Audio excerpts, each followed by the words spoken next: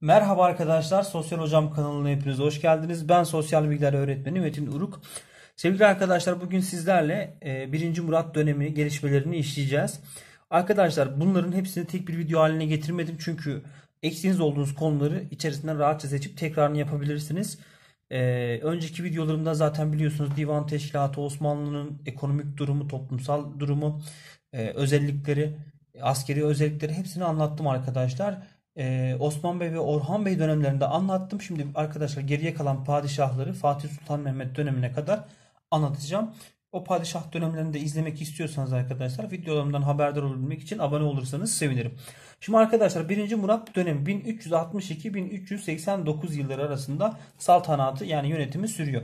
Arkadaşlar bazı öğrencilerimiz diyor ki bin, hocam genç ölmüş. Hayır arkadaşlar 1362 1. Murat e, Murad'ın doğum tarihi değil 1. Murad'ın arkadaşlar tahta geçiş tarihi 1389'da ölüm tarihidir arkadaşlar. Onu bilelim. Yani bu doğum tarihi değil tahta geçiş tarihidir.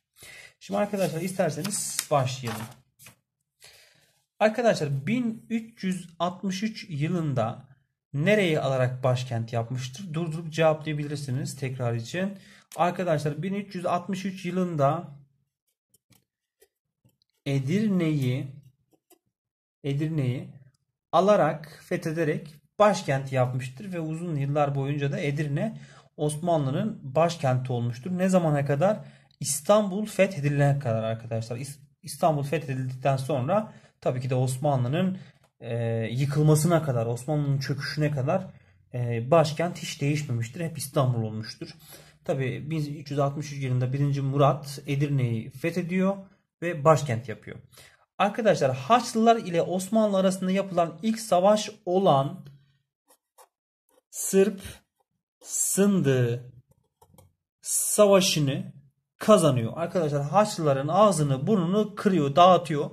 Bu gavurlar hep üstümüze üstümüze geliyor. Birinci Murat da arkadaşlar tabi hep Bizans'la savaşmışız. Soru şu Haçlılar ile Osmanlı arasında yapılan ilk savaş Sırp Sındı Savaşı hangi padişah döneminde? Birinci Murat döneminde yapılmıştır diyoruz arkadaşlar. Tabi Anadolu'da genişlemek, Anadolu Türk siyasi birliğini sağlamak amacıyla Germiyan oğullarından Germiyan oğullarından çeyiz yoluyla arkadaşlar bir evlilik var. Normalde e, işte evlilik olduğu zaman Kütahya porselen falan e, işte yer alır e, gelinin çeyizinde. Bunlar arkadaşlar çok büyük bir cömertlik yapmış. Çeyiz olarak Kütahya'nın komple kendisini vermişler. Yani çeyiz çeyizde Kütahya porselen yerine komple Kütahya'nın kendisini vermişler arkadaşlar. İşin esprisi tabi ama Anadolu Türk siyasi birliğini sağlamaya yöneliktir arkadaşlar. Bir de Hamit oğullarından Hamit oğullarından parayla arkadaşlar Isparte yazmışım da Isparta olacak. İtalyanca oldu Isparte. Isparta ve, ve çevresini almıştır arkadaşlar. Amaç Anadolu Türk siyasi birliğini sağlamaktır. 1. Murat Germiyanoğullarından çeyiz yoluyla Kütahya'yı, Hamitoğullarından parayla Isparta ve çevresini almasının temel amacı Anadolu Türk siyasi birliğini sağlamaktır. İlk defa arkadaşlar sultan unvanını kullandı. Çeşitli kaynaklarda çeşitli bilgiler var. Arkadaşlar ilk defa sultan unvanını kullanan e, padişahımız 1. Murat'tır. Orhan Bey yazanlar var. Niye bilmiyorum. Arkadaşlar MEP hangi bilgiyi alıyorsa bizim doğru kabul edeceğimiz bilgi o. Milli Eğitim Bakanlığı sultan unvanını kullanan ilk padişah olarak 1. Murat'ı kabul ediyor. Arkadaşlar 1. E, Murat da yine Orhan Bey gibi ilklerin padişahı. İlk defa tımar sistemini uyguladı. Tımar sistemi neydi arkadaşlar? Önceki videolarımdan bulabilirsiniz. Osmanlı'daki e, ekonomik yapıya baktığınız zaman arkadaşlar. Tabi e, Yeniçeri Ocağı'nı kurdu ve ne uyguladı? Devşirme sistemini uyguladı. Arkadaşlar isterseniz açıklayayım. Bir iki saat bir de o videoya gitmeyin. Üzüldüm şimdi. Arkadaşlar tımar sistemi biliyorsunuz dev, e, toprağın mülkiyeti kimdeydi? Toprağın mülkiyeti devletteydi. E, köylü arkadaşlar bu toprakları kullanma karşılığında devlete vergi veriyordu. Tımar sisteminde ise devlete vermesi gereken vergiler yerine e, atlı asker yetiştiriyorlardı arkadaşlar. Yani diyorlar devlet diyor ki bize para vereceğini o parayla asker yetiştir, asker besle. Bu askerler barış zamanı köyün huzurunu, güvenliğini sağlıyordu. Savaş olduğu zaman da hemen hurra direkt e, askere savaş arkadaşlar.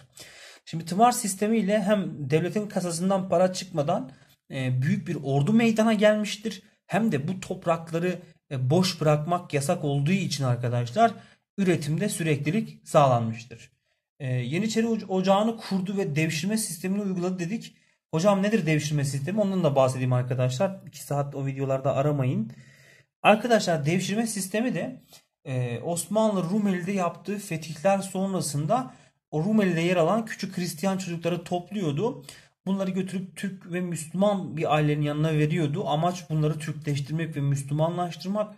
Bu Hristiyanlar arkadaşlar Türk örf ve adetlerini İslamiyet'i öğrendikten sonra Yeniçeri Ocağı'nın temeli olan Acemi Oğlanlar Ocağı'na veriliyordu. Ondan sonra arkadaşlar e, burada askerlik yeteneği olan kişiler Yeniçeri Ocağı'ndan devam ediyordu. Kafası çalışan kişiler de Enderun Mektebi'ne veriliyordu ve arkadaşlar burada e, devlet yönetiminde rol oynuyordu. O divan teşkilatı üyelerinden mesela nişancı, mesela defterdar bunların birçoğu arkadaşlar devşirmedir. E, Tabi amaç ne? Amaç arkadaşlar şimdi e, Yeniçeri Ocağı'nda annesi yok babası yok kimseyi tanımıyor. Tek bir işi var askerlik. Osmanlı'nın uzun yıllar boyunca ayakta kalmasının temel sebebi arkadaşlar tımar sistemi ve devşirme sistemidir. Tımar sistemi arkadaşlar hatta tımarlı sipahi burada yetişen askerlere tımarlı sipahi diyoruz. Burada arkadaşlar yetişen askerler Osmanlı'nın en kalabalık ordusuydu. Devşirme sisteminde de arkadaşlar işi gücü devlet olan, işi gücü askerlik olan kişiler yetiştirilmiştir. Ve arkadaşlar Osmanlı uzun yıllar boyunca tabii ki de ayakta kalmıştır bu sistemler sayesinde. Arkadaşlar 1. Kosova Savaşı'nda şimdi e, şu Sırp Sındığı Savaşı'nın intikamını almaya çalışıyorlar. Diyorlar ki olamaz böyle bir şey çabuk 1. Murat'ın üstüne yürüyün diyorlar ve tekrardan arkadaşlar yeni bir savaş meydana geliyor. Birinci e, Murad'ın üzerine birinci Kosova Savaşı'nda geliyorlar. Birinci Kosova Savaşı'nda arkadaşlar yine birinci Murat Haçlıların o kafirlerin gavurların ağzını burnunu paramparça ediyor. Ama maalesef e, birinci Murat savaş alanını gezerken e, arkadaşlar bir kişi tarafından şehit ediliyor arkadaşlar. Bir asker tarafından bildiğim kadarıyla ölü numarası yaptığı söylenir arkadaşlar. Rivayetler o yönde.